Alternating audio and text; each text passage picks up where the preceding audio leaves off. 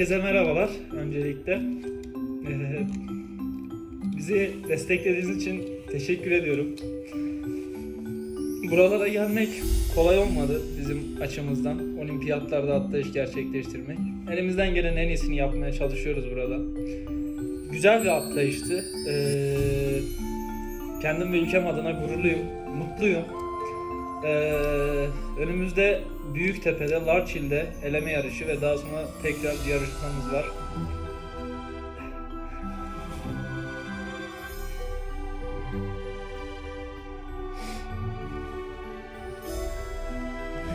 Sağ olun.